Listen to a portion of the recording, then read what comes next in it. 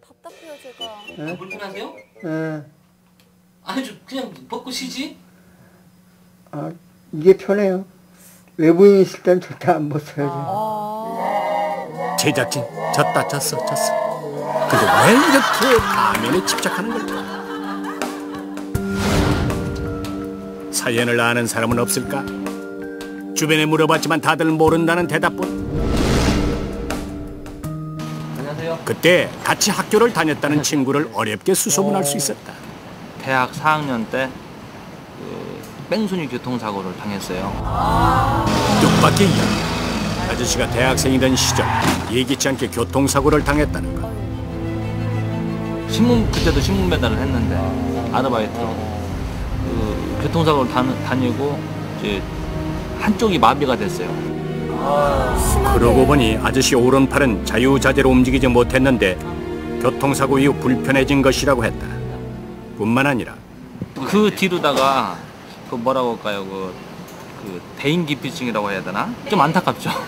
친구로서 그 마음의 문을 열려고 노력을 해봤는데 그게 잘 안 되더라고요. 그리고 이어진 또 다른 증언. 아, 여기서 장사했어요. 네? 여기서. 여기서? 예, 가게를 운영한 적이 있었다는 것. 여기서 뭐 했어요? 식당이요. 식당? 한식에. 그때도 이게 가면 쓰고 다녔어요? 배달 갈 때만 가면 쓰고 오면 벗었어요. 가면을 벗기까지 했었다? 얼굴이 어때요, 어머니? 아니, 얼굴이 괜찮게 생겼어요. 그렇다고 해서 흉터도 없고.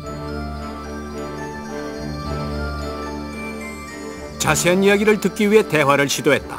그런데 아, 나 안 할래, 나. 다 때려치우면. 안 해. 예상치 못한 돌발 행동. 찍지 마요. 아, 이제, 그, 찍지 마시라니까. 다 때려쳐. 때려쳐. 아, 다 때려쳐버리고, 안 해. 그날 아저씨에겐 아무 얘기도 들을 수 없었다. 다시 아저씨를 찾아간 제작진. 다행히 큰 거부 반응은 보이지 않았는데 오늘도 여느 때와 다름없이 신문 배달을 하느라 바쁜 아저씨.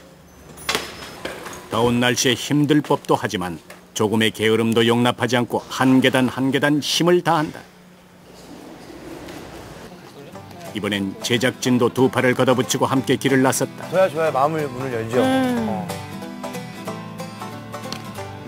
목마른 아저씨를 위해서 더운데 물 한 잔 드세요. 그리고 얼굴 불편하지 않게 빨 때. 예. 아 빨대는 처음으로 제작진 앞에서 물을 마신 아저씨. 좀 더. 레인저. 찾을 수 있을까? 합체인가요?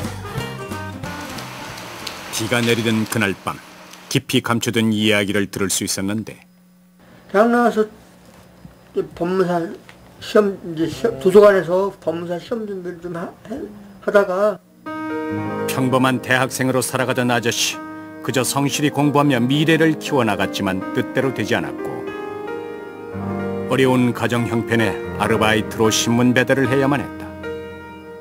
92년 4월 7일 날 새벽 3시에 그 사고 나고 나, 나서부터는 마스크 쓰고 선글라스 쓰고 다니기 시작해갖고 얼굴이 안 보여줬어 잘. 아르바이트 도중 당한 교통사고.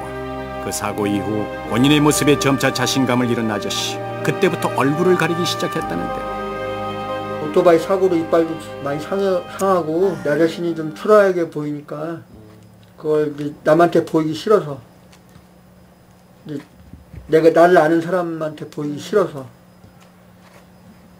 그래서 그런 거죠.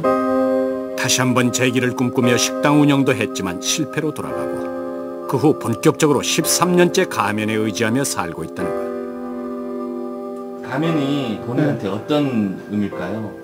가면요? 가면은 용기 그 자체예요. 가면을 안 쓰게 되면은 좀, 좀 약하게 보이는데 가면 쓰게 되면 이제 완전히 힘, 힘과 용기가 솟- 솟아나는 것 같고 아저씨에게 가면은 치장하는 도구가 아닌 살아가는데 꼭 필요한 것.